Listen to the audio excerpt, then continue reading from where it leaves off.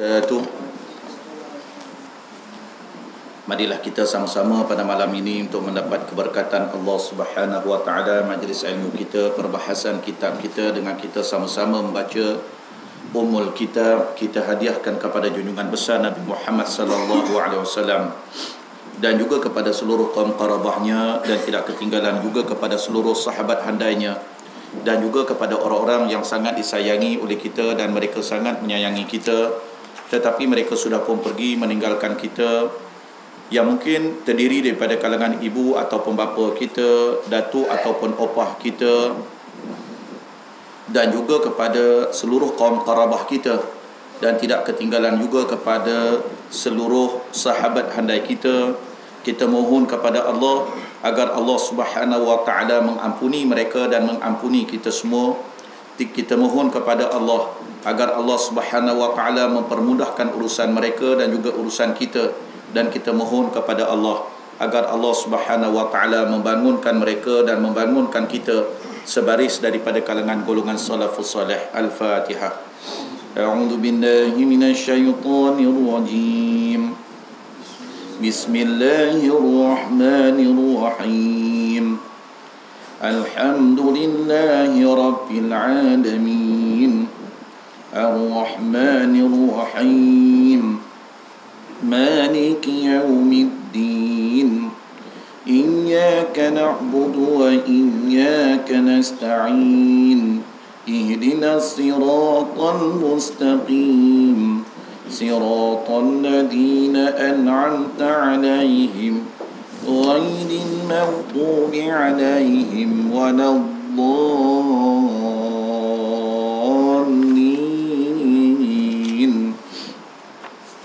Alhamdulillah wassalatu wassalamu ala Rasulillah. Syahadu an la ilaha illallah wa asyhadu anna Muhammadan abduhu wa rasuluh. Subhanaka la ilma lana illa ma 'allamtana innaka antal alimul hakim. La haula wa la quwwata illa billahil aliyil azim. Yang saya muliakan pengerusi dan ahli jawatan kuasa markas soft-soft kepimpinan seterusnya kepada tuan-tuan dan puan-puan muslimin dan muslimat kaum ibu dan kaum bapa yang saya hormati dan kasihi sekalian.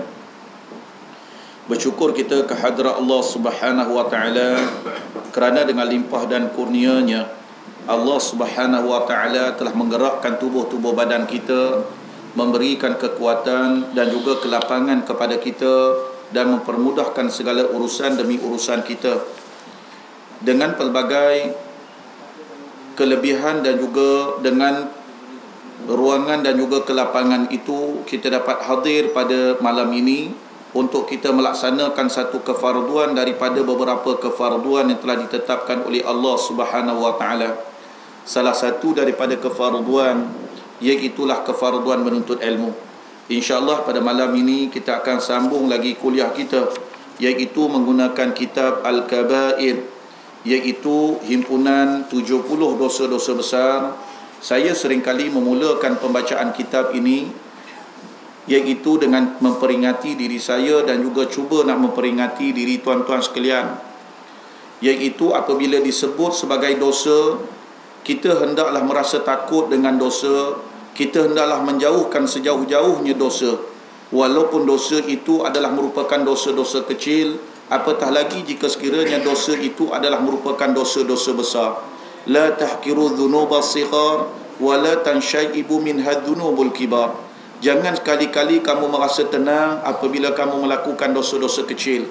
Kerana daripada dosa-dosa kecil itulah akan munculnya dosa-dosa besar setiap dosa itu walau sekecil mana sekalipun walau sebesar darah sekalipun ia tetap dosa ia tetap kebencian di sisi Allah dan ianya juga adalah merupakan ya iaitu penghakis kepada ketenangan dan juga kegembiraan kita sebagai seorang hamba Allah Subhanahu wa taala.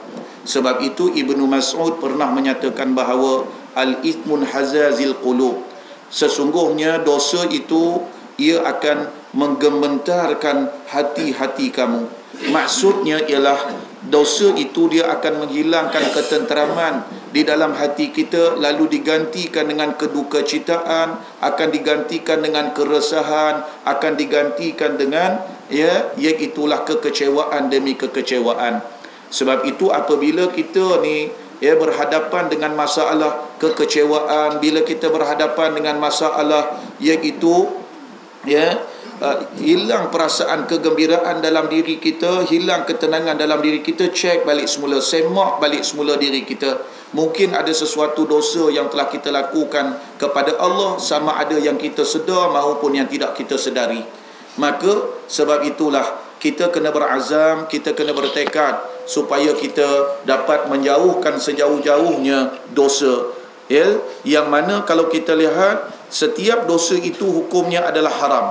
Walau sekecil mana sekalipun ia adalah merupakan satu perkara yang sangat dibenci oleh Allah Subhanahu Wa Taala. Ya, jadi pada malam ini ya kita akan terus membaca salah satu daripada 70 dosa-dosa besar yang mana kita masih lagi membicarakan iaitu dosa yang ke-10 iaitu dosa az-zina. Iaitu dosa zina muslimin dan muslimat yang saya hormati sekalian bila menyentuh berkaitan dengan soal zina sedikit saya nak ajak tuan-tuan sekalian supaya kita dapat eh, merenungi apa yang sedang berlaku di dalam negara kita. Iaitu baru-baru ini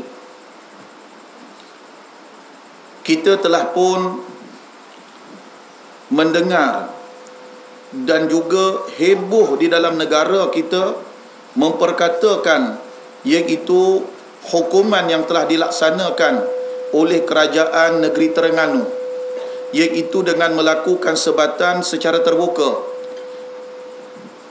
ke atas pesalah musahaqah iaitu terhadap kesalahan eh, yang disebut sebagai eh, uh, apa lesbian eh, yang disebut sebagai lesbian. Jadi kalau kita lihat tuan-tuan sekalian hukum liwat ataupun hukum musahaqah ia adalah merupakan satu hukum yang menurut ya pandangan mazhab Imam Asy-Syafi'i ya yang disebut ya di dalam kifayatul kifayatul akhyar menyatakan bahawa ya iaitu liwat dan juga ya uh, lesbian ya ataupun musahaqah ini ya ianya adalah dihukumkan sama seperti mana hukum zina ya di mana ya mereka yang melakukan liwat wajib dikenakan hukuman hudud iaitu direjam sehingga mati jika sekiranya seorang yang melakukan liwat itu adalah merupakan muhsan dan juga jika sekiranya dia ghair muhsan iaitu orang yang belum pernah ya menikmati perkahwinan secara sah maka mereka hendaklah dikenakan hukuman sebat seratus kali sebat dan dibuang negeri selama setahun ya. Jadi kalau kita lihat ini adalah merupakan hukuman yang telah ditetapkan oleh Allah. Sebagaimana yang Allah Subhanahu wa taala nyatakan di dalam firman yang jelas kerana di dalam firman Allah ini di dalam kitabullah ini ada yang dinamakan sebagai ayat-ayat muhkamat yang tidak ada berbidang walau sedikit pun kuasa manusia untuk mengubah suainya sama ada nak menambah baik ataupun nak mengurangkan kerana ia telah ditetapkan secara qat'i oleh Allah di dalam Al-Quranul Karim. Ada pula di dalam firman Allah yang bersifat ayat-ayat mutasyabihat. Ayat-ayat yang tak jelas hukumnya waktu itu ya di mana para ulama mujtahidin diberikan bidang kuasa untuk berfikir sama ada mereka mengambil menggunakan kaedah apa yang tertera di dalam sunnah baginda Rasulullah SAW ataupun mereka menggunakan kaedah ijma' ulama ataupun menggunakan kaedah kias maka tentang berkaitan dengan soal iaitu berkaitan dengan soal zina yang sedang kita bincangkan ni ianya tidak ada berbidang kuasa walau sedikit pun manusia untuk mengubah suai ataupun untuk ya ia mengurangkan apa yang telah ditetapkan oleh Allah. Allah Subhanahu wa taala sebut secara jelas di dalam surah An-Nur ayat yang kedua. Allah Subhanahu wa taala sebut az-zaniyatu waz-zani fajlidu kull wahid minhuma mi'ata jaldah ولا تأخذكم بهما رأفة في الدين الله إن كنتم تؤمنون بالله واليوم الآخر وليشهد عذابهما طائفة من المؤمنين apa kata dia Allah Subhanahu wa taala apa firman Allah dia kata perempuan yang berzina dan lelaki yang berzina hendaklah kamu sebat tiap-tiap seorang daripada keduanya seratus kali sebatan. Cukup jelas tuan-tuan sekalian. Allah sebut seratus kali sebatan. Bukan enam kali sebatan. Bukan seratus satu kali sebatan. Bukan sembilan puluh sembilan kali sebatan. Tetapi seratus kali sebatan. Allah sebut dengan secara jelas. Mana tak ada berbidang kuasa sebenarnya kita sebagai makhluk Allah. Ya, di mana kerana perkara ini Allah telah tetapkan. Lalu Allah sebut lagi sebab Allah tahu ini sikap manusia. Apa dia kata dia Allah sambung lagi, jangan kamu dipengaruhi oleh perasaan belah kasihan terhadap keduanya di dalam menjalankan hukum agama Allah jika benar kamu beriman pada Allah dan hari akhirat. Jelas tak jelas? Kalau kamu ni betul-betul beriman, kamu ni beriman ataupun tidak kepada Allah? Kamu ni beriman ataupun tidak pada hari akhirat? Kalau kamu beriman jangan sekali-kali kamu dipengaruhi dengan perasaan belah kasihan. Kesian seratus kali sebatan Allah dah tahu ini sikap manusia. Iaitu ada sifat kasihan belas. Ya? Di mana tuan-tuan sekalian? Lalu Allah Subhanahu taala sebut lagi ya? Iaitu yashhad adzabahuma ta'ifatum minal mu'minin. Dan hendaklah disaksikan hukuman seksa itu dikenakan kepada mereka itu oleh sekumpulan orang-orang beriman. Maknanya ya hendaklah dilakukan dengan secara terbuka. Dilihat oleh orang ramai ya diperhati disaksikan oleh oleh orang ramai. Saya nak ya ambil sedikit di dalam perbahasan kitab sedikit.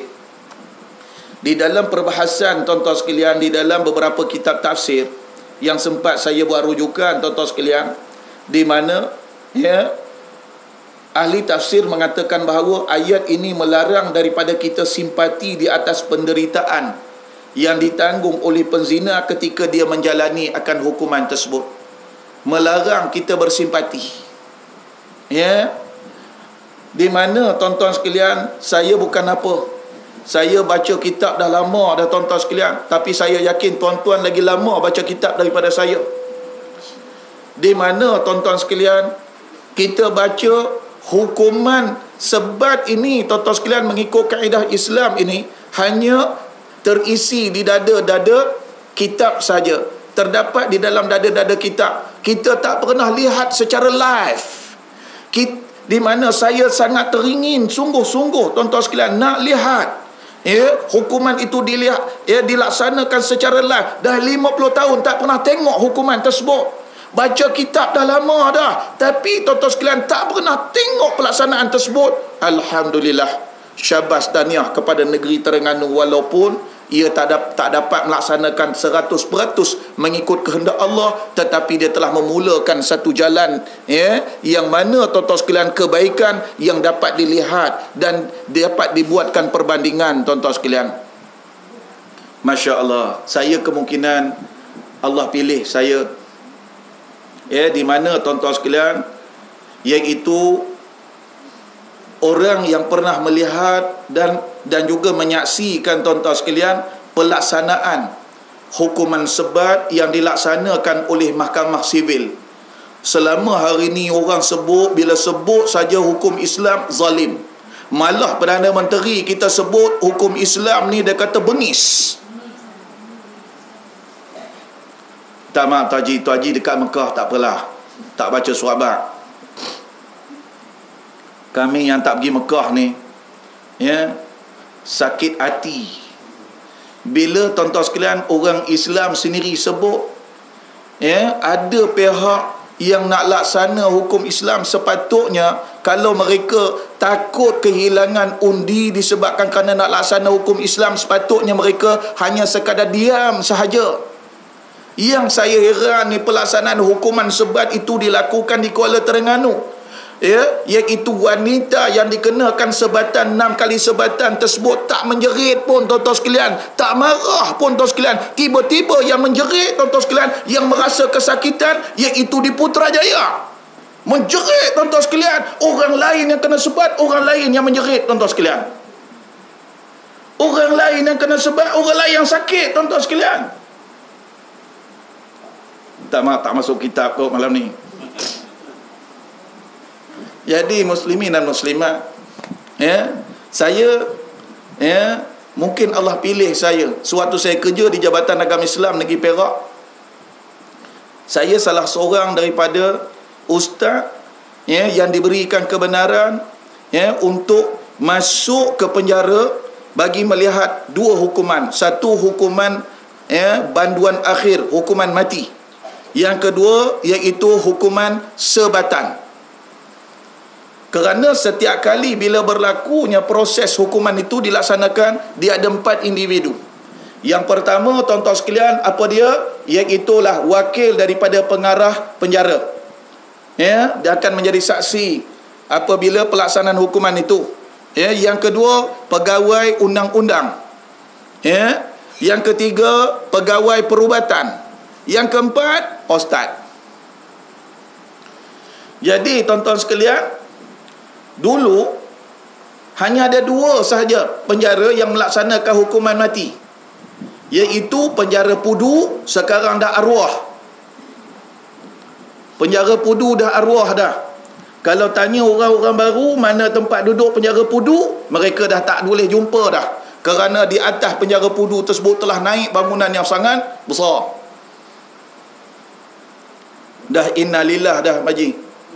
Ya, di mana atau sekalian yang kedua iaitu penjara Taiping. Kerana dua-dua penjara ni adalah penjara yang antara yang tertua dalam negara kita. Di situlah tempat pelaksanaan hukuman mati. Penjara lain waktu tu tak wujud. Tapi selepas penwujudan penjara di Tapah dan juga penjara di Sungai Buloh lalu tidak lagi dilaksana hukuman mati di penjara Taiping. Sudah tidak dilaksanakan lagi. Semua dilaksanakan di penjara Tapah mana-mana banduan yang dijatuhkan hukuman mati akan dipindahkan ke penjara Sungai Buloh untuk dilaksanakan di sana. Jadi tuan-tuan sekalian, waktu itu tuan sekalian saya dipilih. Eh, saya antara orang yang akan pergi untuk memberi nasihat-nasihat akhir sebelum mereka ni digantung. Eh, tapi saya tak nak cerita. Cerita bab eh, yang nak kena gantung mati ni. Saya nak cerita tentang soal sebatan. Begitu juga bila banduan yang telah sabit ya, oleh mahkamah mereka ini perlu disebat secara mandatori. Maka tuan-tuan sekalian dilaksanakan ya sebatan tersebut di mana masya-Allah waktu pelaksanaan sebatan tersebut pakaian banduan tersebut dilondeh. Tanggai habis tuan sekalian di mana tuan sekalian mana satu yang lebih aib? Kita kata ini mengaibkan apabila kita melakukan rotan eh cara Islam ini mengaibkan. Mana satu yang lebih aib? Kita londeh pakaian dia tuan-tuan sekalian. Tak ada surat benang pun pada tubuh badan dia tuan-tuan sekalian. Lalu tuan-tuan sekalian diletakkan penampan.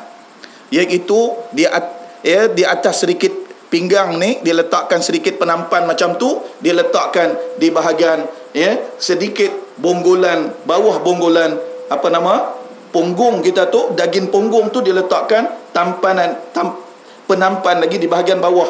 Jadi lebih kurang besar ni lah lebih kurang ya dibiarkan terbuka. Yang lain semua kosong tak ada apa. Lalu dia pun pakat menunggin menerap lebih lebih kurang macam ni lah. Ada tempat untuk eh, dia apa nama? Menerap macam tu tu. Kemudian diikat tuan-tuan sekalian kaki tangan dia. Ya. Lalu tuan-tuan sekalian waktu itu baru masuk penyebat. Penyebat ini tuan-tuan sekalian dia tak boleh bersembang langsung. Dia fokus. Dia fokus. Ya. Dia tak ada assalamualaikum apa khabar? Tak ada tak ada. Dia masuk tuan-tuan sekalian ya? Dia terus tu, tegak berdiri tuan sekalian dia fokus. Sebab setiap satu libasan dia tuan-tuan sekalian ada allowance pam! Satu allowance kalau sekiranya dia miss ya di mana dia akan dikenakan tindakan disiplin iaitu allowance dia, dia akan dipotong dan dia akan tak dibenarkan untuk melaksanakan tugasan itu dalam tempoh-tempoh tertentu. Dia akan digantikan terus maknanya orang itu adalah penyebat yang tidak kompeten ya yang tidak betul-betul terlatih. Ah jadi tuan-tuan sekalian sebab itu Penyebat ni tuan-tuan sekalian Dia memang cukup latihan dia Dia tak boleh gaduh dengan bini Eh di rumah. Kalau sebelum dia melaksanakan Sebatan tersebut Dia gaduh kat bini Bini dekat rumah tuan sekalian Ya Jadi kacau Eh Dia mesti fokus. Fokus betul-betul. Allah tuan-tuan sekalian. Di mana Bila disebut Dibacakan mula-mula Kamu Si Fulan bin Si Fulan telah melakukan kesalahan sekian-sekian mengikut session sekian-sekian kamu telah pun dijatuhkan hukuman ya sebatan sebanyak enam kali sebatan. Faham? Faham. Doktor pun pakat cek tengok telinga dia tengok mulut dia cek jantung dia cek cek cek semua okey pelaksanaan dimulakan lalu tuan-tuan sekalian ni ada pernah kerja penjara sini ada kalau saya silap, tolong perbetulkan. Di mana tuan-tuan sekalian? Ya, sebatan yang pertama. Dia angkat. Angkat ni tuan-tuan sekalian. Gini ni. Dia angkat. Dia balap. Pap. Dia tarik balik tuan-tuan sekalian. Waktu itu kita tengok. Buntut yang kena tu. Yang kena pap tu. Dia kena tuan-tuan sekalian. Buntut terus mengelembung. Kulit dia terus mengelembung. Fuh menjerit oh menjerit keluar sampai sampai dekat luar terdengar tuan sekalian oh bunyi dia pom bunyi dia. Huh. kita duduk dalam tu pun bukan kita kena sebab kita tengok pelaksanaan sebab kita pun rasa tuan-tuan sekalian nak pingsan tuan-tuan sekalian. Sah kata yang kena tu Dia punya jerit Allah Kemudian Tuan-tuan sekalian Ya yeah, Doktor pun pakat Tengok cek balik. Okay Round kedua. Yeah. Round kedua Bila dia Angkat pop, Bila pop kali kedua Di mana Yang kata penyebab yang Komputer ni Ini sebatan kali pertama Sebatan kali kedua Mesti dilapis di atasnya Oh, ini ya. Dia memang atok tu. Pa, pa, pa, pa, pa datuk. Allah, bila kena kali kedua percik, percik darah tu sebab kulit tadi tu tertanggai. Allah. Dia menjerit lagi derai tuan-tuan sekalian. Ya, saya tak nak cerita. Itu baru dua. Ya, Lalu tuan-tuan sekalian habis dah selesai. Ya, habis dah selesai hukuman tersebut. Ni saya nak cerita mana satu yang lebih kejam. Kita buat perbandingan Allah. Hukuman Islam tuan-tuan sekalian penyebab ibarat dia letakkan buku di bawah ketiak dia lalu dia menyebat buku ni seolah-olah tak tak jatuh. Bayangkan Allah Yang ini dia sebat Merecik darah Tertanggai kulit-kulit ni. Mana satu lebih zalim?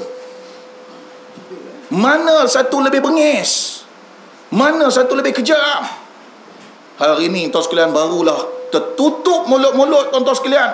Golongan-golongan orang yang kata Hukum Islam bengis Hukum Islam kejam Tertutup tuan-tuan sekalian. Mereka beralih pula. Menyerang mengatakan bahawa oh menjatuhkan maruah. Ha.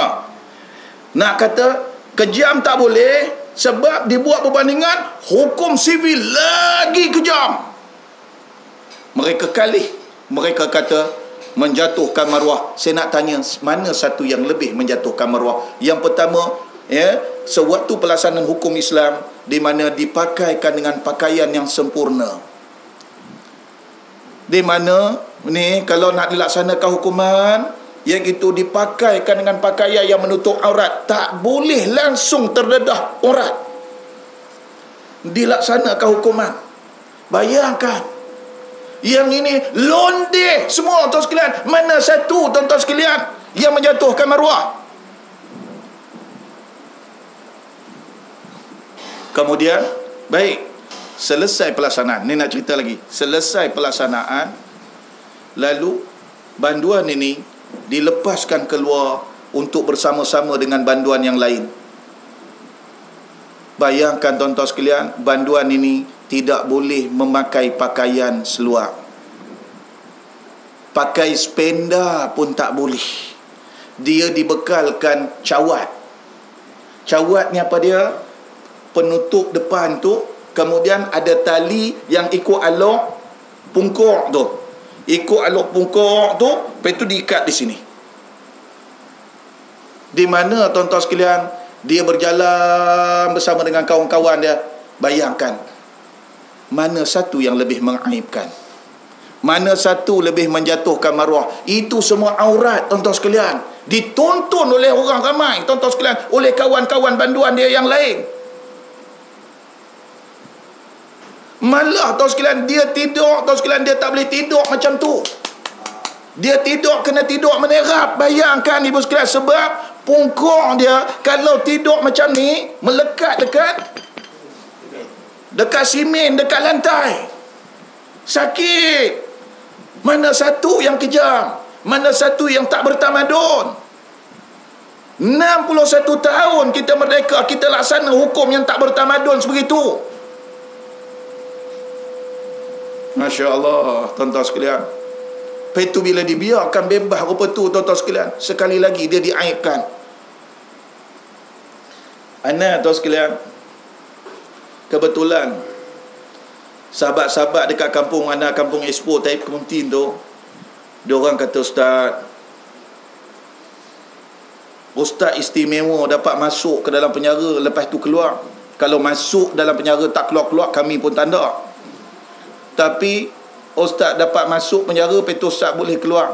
Boleh dah ustaz recommend kami nak masuk sama jadi anak susah hati no sekalian jadi anak pakak pergi jumpa dengan pegawai tinggi dia anak kata nak bawa. Ya? Anak kata nak bawa dua orang. Lalu dia kata boleh. Oh anak lega punya seronok bawa dua orang tuan sekalian. Ya? Tapi tuan-tuan sekalian ya? Macam-macam lah nak masuk dalam tu berlapis-lapis sekatan-sekatan pemeriksaan-pemeriksaan hanya dipesan jangan ya? Apa nama ni teguk-teguk jangan teguk-teguk maknanya kita berjalan tu pakai tengok aja jangan teguk-teguk ha jadi tuan sekalian macam saya saya dah biasa keluar masuk keluar masuk keluar masuk keluar masuk. Ya. Uh, jadi tuan sekalian bagi orang yang tak biasa ni ya dia jadi satu kejutan tuan sekalian. Sebab dia di depan wadah di belakang wadah kita akan duduk di pertengahan sebut dia akan iring kita berjalan ya sebab saya akan masuk ke dalam satu bahagian satu section saya akan beri tazkirah kepada mereka. Menangis tuan-tuan sekalian. Ya. Menangis mereka ni. Ya maknanya hati mereka ni masih ada lagi. Perasaan insaf sebagainya. Kita pun tanya dengan wadah baik hati dia orang ni sebenarnya. Sampai boleh menitih itu ayo mata buaya ustaz katanya wallah lah aku saya tak tahu tu ada kata dia kata ayo mata buaya dia kata. Ha. jadi tuan-tuan sekalian waktu saya bawa masuk kawan saya ni dia macam satu kejutan bagi dia. Bila dia tengok tuan sekalian kebetulan baru lagi pelaksanaan hukuman sebab tuan-tuan sekalian dia tengok orang tersebut tuan sekalian pakai cawat. Dia kata aku semua hidup aku tak pernah tengok orang pakai cawat di mana orang asli dulu-dulu je pakai cawat tuan sekalian lah ni mana nak jumpa orang pakai cawat Rupa tuan sekalian. Ya, zaman moden lah ni pun masih lagi orang pakai cawat. Namanya moden ke ni tuan-tuan sekalian? Kita ingat bertamadun. Rupanya inilah ada hukum yang tak bertamadun. Masya Allah. Di mana dia kata, Ustaz, pakai cawat Ustaz. Kan aku dah kata, jangan teguk. Oh, silap dia kata. Ha. Aku excited dia kata, tak pernah tengok dia kata. Ha. Tambah pula bila tengok tu sekalian buntut dia tu, Allah. Merah apa macam udang kena makak tu menene bendene tu ya waktu bila kena tu pap tu eh, daging tersebut bergetar daging buntut tu. Kita pakai tengok apa ni tuan-tuan sekalian. Hai. tak boleh nak bayang tuan sekalian. Baik apa saya nak cakap? Ya? Di mana tuan-tuan sekalian kita punya akal bila belasah apa tu tuan-tuan sekalian Mesti dia tobat. Mesti dia tak buat. Betul tuan-tuan sekalian? Dah. Kerja yang menye- eh, Keinsafan ini Bukan kerja manusia. Dia adalah merupakan ya, Iaitu pemberian daripada Allah. Di mana tuan-tuan sekalian Saya jumpa Seorang yang melaksanakan hukuman sebat Di kampung saya. Ya, dia kata Ustaz saya ni macam-macam penjara masuk dah. Kata, di mana? Ada kata ustaz, dia kata, saya kalau pihak mahkamah jatuhkan hukuman sebat di uh, apa nama ni, uh, penjara Sungai Petani, saya relax, lega. Sebab dia kata, eh, saya dah kenal dah ustaz. Penjara mana penjebat dia yang paling dahsyat sekali. Ustaz nak tahu? Saya kata saya pun tak tahu. Sebab saya tak pernah kena sebat. Rupanya, mereka dah boleh buat. Rupa macam kita lah. Kedai makan mana paling best sekali? Masak semua masak. Betul? Tapi mana paling kick sekali? Paling power sekali. Uh, ini nak tunjuk apa? Tak ada keinsafan. Dia belasah rupa tu. Tuan sekalian. Eh? Apa pun tidak. Esok masuk pula penjara Sungai Petani. Kena pula di Sungai Petani. Lusa kena pula. Sambung pula dekat penjara Tapah. Kena pula dekat penjara Tapah. Tak ada apa. Kita ingat bila dia belasah apa tu. Tuan sekalian tobat. Dah, dah, dah, dah, dah, dah. Apa dia kata? Dia kata, antara penjara-penjara ni, dia kata, yang paling hebat dahsyat menakutkan dia kata sebatan dia dia kata penjara Taiping sebab ini otai punya penyebat tu orang otai orang paling berpengalaman orang paling lama sekali dia kata kami ni dia kata bila kena dekat penjara lain kena sebatan dia kata kira jerit-jerit sonok lah dia kata oh tapi tak ada apa dia kata tapi dia kata bila kena dekat penjara Taiping dia kata eh kena kena kencing terus dia kata. Cuk terus terkencing dia kata. Hu sakitnya dia kata. Di mana dia kata sebab penyebab tu dia kata dia orang lama atau sekalian dia eh macam mana kita pun tak tahu kaedah dia. Ha, rupanya sampai macam tu sekali orang jahat ni. Ya. Ha. Jadi itu saya kata Bukan kerana kita belasah teruk-teruk tu dia kan insaf dah. Yang menginsafkan ini ialah Allah. Ya, yang menyedarkan hati-hati manusia ni ialah Allah. Jadi sebab itu tuan-tuan sekalian, Allah sebut hendaklah disaksikan hukum seksa yang dikenakan itu oleh sekumpulan orang-orang yang beriman. Ini bukan saja-saja dibuat di Terengganu untuk dilihat oleh orang ramai. Lalu tuan-tuan sekalian disebut saya bacakan sikit tuan-tuan sekalian iaitu beberapa pandangan ulama ya yang berkaitan dengan soal sebatan ini ya dan juga dilihat yang disebut dia kata apa dia wal yashhad adzabahuma ta'ifatum minal mu'minin. Ta'ifah itu. Yang dikatakan hendaklah disaksikan oleh sekumpulan orang beriman itu menurut beberapa pendapat. Antaranya pendapat oleh Ikrimah oleh Imam Ahmad dan oleh Imam Mujahid. Bukan yang satu lagi ni. Ya? Jadi tuan-tuan sekalian yang dikatakan taifah itu ialah hendaklah disaksikan iaitu oleh sekumpulan antara seorang hingga seribu orang. Dan malahan yang paling terbaik sekali pandangan iaitu pandangan daripada Imam Asy-Syafi'i yang sebut dia kata wal yashhad adzabahuma ta'ifatun. Ta'ifah itu Imam Syafi'i kata apa dia? Kerana dalam bahasa Arab wazan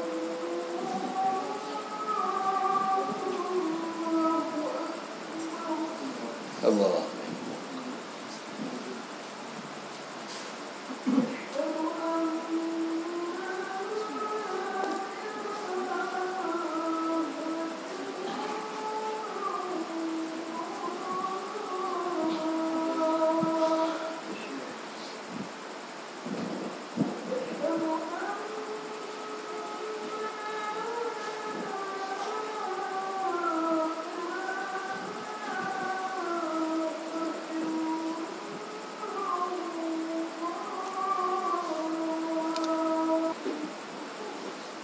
Sikit lagi, sikit lagi nah. Boleh nah. Okey, jadi bila sebut sebagai taifah di dalam al-Quran di dalam surah An-Nur di mana taifah ni dia nakirah. Ya, dalam bahasa Arab dia disebut sebagai nakirah. Nakirah ni umum. Maksudnya apa dia? Iaitu kata di Imam Syafi'i bahawa hukuman pelaksanaan hukuman zina itu sebatan itu hendaklah disaksikan semakin ramai penyaksiannya adalah semakin baik. Lagi ramai lagi bagus, lagi ramai lagi bagus. Kerana dengan penyaksian itu dia akan memberi dan mengambil peringatan dan juga iktibar kepada orang lain. Dia bukan sekadar memberi peringatan kepada orang yang kena sebat, tetapi yang lebih lagi ialah dia sebagai satu peringatan dan iktibar kepada orang lain. Jangan melaksanakan sebagai satu kaedah iaitu kaedah cegahan. Nakalam minallah. Jadi muslimin dan muslimat yang saya hormati sekalian, sebab itu kalau kita lihat di dalam kitab yang kita baca pada malam ni, iaitu meletakkan bahawa antara dosa-dosa besar eh, yang ditulis oleh Imam Zahabi ada 70 dosa-dosa besar ni, iaitu dosa zina yang sedang saya bicarakan ni, ianya telah diletakkan iaitu dosa nombor 10 daripada 70 dosa-dosa besar. Maknanya, ya, iaitu Nombor 10 orang selalu sebut under 10 kan. Ini nombor 10 daripada 70 dosa-dosa besar. Jadi sebab itu kalau kita lihat ya kita masuk sikit kitab kita sekarang antum kata ya langsung ustaz ni kami bawa kitab tak masuk masuk kitab. Ya bulan depan kami tanda bawa kitab kami nak bawa telinga aja. Ya ha, jadi supaya tuan-tuan sekalian dapat juga kita baca sedikit maka kita buka muka surat 86 ke 87 87 di mana hadis dalam hadis Nabi. Betul ya? Iaitu hadis Nabi sallallahu alaihi wasallam telah disebut ya yang diriwayatkan oleh Imam Muslim dan juga oleh Imam An-Nasa'i. Iaitu ada tiga golongan yang Allah Subhanahu wa taala tidak akan berbicara dengan mereka pada hari kiamat ya, dan Allah tidak akan melihat mereka serta tidak akan dinyatakan sebagai orang yang suci dan baginya akan mendapat seksa, seksaan yang sangat pedih. Allah tuan-tuan sekalian apa nilai kita? Kita sebagai seorang hamba tuan-tuan sekalian ya di mana tuan sekalian tak ada satu nikmat yang lebih besar tuan-tuan sekalian iaitu melainkan nikmat apabila kita dapat melihat iaitu pemberi kepada nikmat. Sekarang ni kita hanya sekadar melihat nikmat. Betul. Di mana tuan-tuan sekalian, saya petang tadi dekat uh, markas bandar. Di mana ya dibahaskan tentang soal melihat Allah di dalam syurga ya lalu dibatasi dengan ya apa nama uh, apa nama? Dibatasi dengan penghalang. Jadi kalau kita lihat tuan-tuan sekalian mana ada satu benda yang lebih nikmat? Kita hari ini tuan-tuan sekalian kita lihat tuan-tuan sekalian kita katalah ya iaitu seorang ratu cantik yang paling cantik tuan-tuan sekalian kita pakai tengok. Hu cantiknya ji. Nikmat betul? Kita tengok betul. Itu kita dah rasa nikmat cantiknya. Betul? Ji. Kita pergi pula ke Lata Iskandar ataupun kita pergi tuan-tuan sekalian air terjun Niagara. Air terjun tuan-tuan sekalian sikit punya cantik. Allah cantiknya hebatnya. Itu kita lihat nikmat. Cuba bayangkan yang kita nak tengok ni nanti di dalam syurga ni pemberi kepada nikmat, pencipta kepada nikmat-nikmat tersebut iaitu Allah. Masya Allah, tak ada satu benda yang lebih besar sekali nikmat ya lebih mengatasi nikmat masuk syurga bila kita dapat lihat Allah. Tapi orang yang dihalang daripada melihat Allah nanti ada tiga golongan. Ya orang yang Allah Subhanahu wa taala tak nak pandang mereka tuan-tuan sekalian di akhirat nanti ada tiga golongan orang yang akan dilanat oleh Allah Subhanahu wa taala dan akan disediakan azab yang sangat pedih di akhirat nanti ada tiga golongan. Siapa dia? Yang pertama sekali Iaitulah orang tua yang berzina. Maknanya berzina. Orang yang berzina. Jadi tuan-tuan sekalian sebab itu ya Dosa dengan Allah kita boleh ya Selesaikan dengan cara Bertaubat kepada Allah. Tetapi tuan-tuan sekalian Dosa jika sekira kita lakukan lalu kita tak laksanakan ikut kaedah hak-hak Allah maka dosa itu tuan-tuan sekalian dia tidak akan terangkat selagi mana ia tak diselesaikan. Mengikut kaedah-kaedah yang telah ditetapkan oleh oleh Allah. Sebab itu kita sangat takut apabila ada pihak tuan-tuan sekalian kerajaan negeri Terengganu nak laksanakan sebab itu saja bidang kuasa yang dia ada. Ya? Uh, saya dulu waktu saya jadi uh, apa nama penolong pengarah bahagian perundangan dulu kita memang belajar berkaitan dengan soal undang-undang. Di dalam perlembagaan kita meletakkan bahawa memberi kuasa ya kepada mahkamah syariah ini bidang kuasanya ialah bidang kuasa 356 mahkamah syariah adalah mahkamah apa ji mahkamah 356 iaitu tiga itu apa dia tiga tahun penjara lima lima ribu ringgit enam enam kali sebatan. Hakim tak boleh menjatuhkan hukuman melebihi daripada enam kali sebatan. Sedangkan Allah letakkan seratus kali sebatan. Maka dengan berbidang kuasa tersebut saja hakim telah melaksanakan hukumnya mengikut kuasa yang telah diberi. Lalu dilaksanakan enam kali sebatan tetapi kaedah yang dah dipertontonkan. Dia menggunakan kaedah pelaksanaan itu adalah menggunakan kaedah pelaksanaan iaitu cara sebatan mengikut Islam. Saya yakin semua orang yang ada dalam markas ni tak pernah tengok. Betul tuan sekalian? Jadi kita bersyukur tuan sekalian sebelum kita mati ya sepaling-paling tidak kita dah boleh dengar dah dekat negara kita bumi yang kita cintai ini telah mula tuan-tuan sekalian dilaksanakan walaupun tidak sepenuhnya hukum Islam tetapi tuan sekalian sudah mula tuan-tuan sekalian. Tapi yang saya sangat duka cerita iaitu apabila tuan-tuan sekalian ada daripada kalangan orang-orang Islam di mana tuan-tuan sekalian mereka tak bersetuju malah menuduh dengan pelbagai tuduhan demi tuduhan dahlah 61 tahun mereka tak mampu nak laksanakan kemudian tuan sekalian dulu mereka kata kalau kita diberikan Putrajaya tuan-tuan ingat tak ya Baru kita akan laksana hukum Islam. Hari ini benar-benar Allah bagi Putrajaya. Mana pergi janji? Janji-janjimu.